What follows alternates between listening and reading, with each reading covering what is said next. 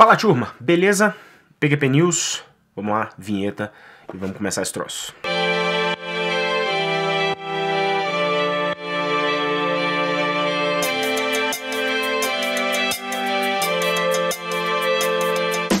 Bom, depois do esporro, se você não sabe o que, tá que eu tô falando, veja o vídeo passado.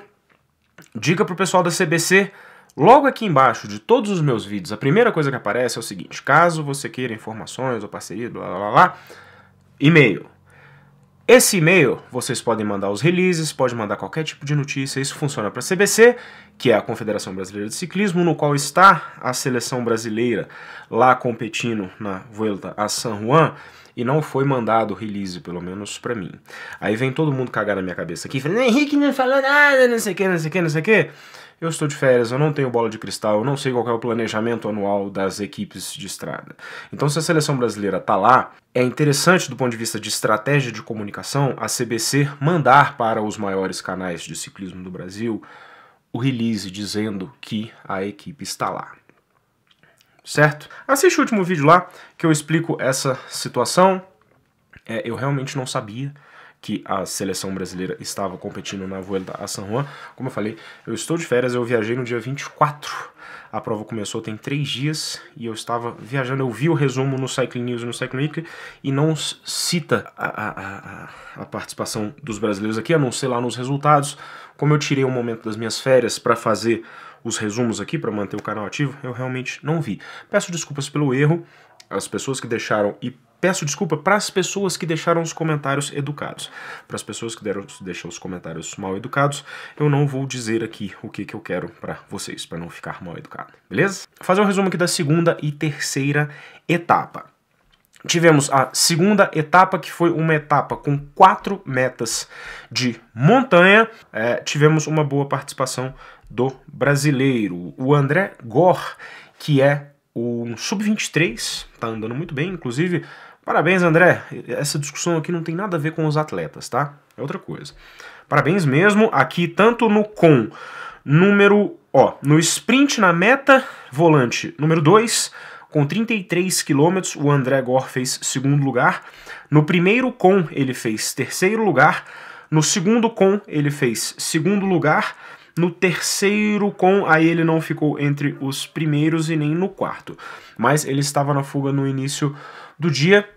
Então, parabéns aí, André, por ter andado e ter conseguido essa boa colocação. E se eu não me engano, ele está bem colocado na classificação por pontos. Só confirmar aqui, ó. Na classificação de montanha, ele está em quinto lugar, o André Gor, e na classificação por pontos, ele está em sexto. Então, brasileiro aí top 10. Parabéns pela colocação, ainda mais um garoto que é sub-23. Muito bom mesmo. Bom, então agora vamos falar dos resultados é, dos, do vencedor da etapa. Quem venceu a segunda etapa foi o Ala Felipe, que tá andando demais esse cara. Ele, inclusive, eu achei que ele que ia ganhar o Mundial. É, mas acabou sendo o Valverde, né? Mas realmente ele tá andando muito. Ele venceu numa. Era uma chegada em subida, mas não era uma subida tão forte, até porque o pelotão chegou relativamente compacto. Chegaram 36 ciclistas juntos, e aí o resto alguns segundos atrás, mas não foi aquela montanha que o cara chegou 10 minutos depois. Mas então o Alaphilippe venceu, sendo seguido pelo Simone Cansoni, o italiano da UEA Team Emirates, e o Peter Sagan ficou em terceiro lugar. Hoje a gente teve o contrarrelógio, era um contrarrelógio bem curto, de apenas 12 km, os ciclistas correram com as bikes de estrada mesmo, isso porque, como a Vuelta a San Juan não é uma prova tão famosa e grandiosa que nem outras provas você tem por aí, possivelmente as equipes não quiseram ter toda a logística de trazer bicicletas de contrarrelógio para essa prova na Argentina. Eles só trouxeram rodas, os ciclistas correram com a roda traseira fechada, algumas equipes com a roda traseira fechada, capacete aerodinâmico, mas o resto era bicicleta normal mesmo. Ala Felipe mais uma vez venceu Parabéns, Felipe fez em 13 minutos e 41, quase 50 km por hora de média, numa bike de estrada normal. O Valério Conte do UAE Team Emirates ficou 12 segundos atrás, empatado com o Renko Evenepoel.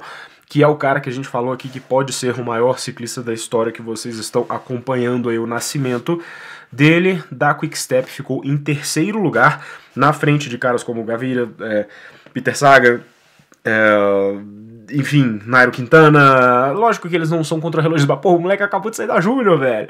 E já tá botando aqui terceiro lugar num contra-relógio, ficando na frente do Sagan, que é um excelente contra-relogista. Então é realmente um troço impressionante esse moleque. O melhor brasileiro nesta etapa de contrarrelógio foi o Magno Prado, que é um excelente contrarrelogista. Já vi esse cara correndo lá na volta do Goiás e realmente ele anda demais. O Magno ficou 1 minuto e 36 atrás do Alaphilippe e está em, e ficou em 53 na etapa. Beleza? Bom, então é isso. Resultados aí da volta a San Juan. Espero que vocês tenham gostado. Like no vídeo, se inscreve no canal, aquela coisa toda. E é isso aí.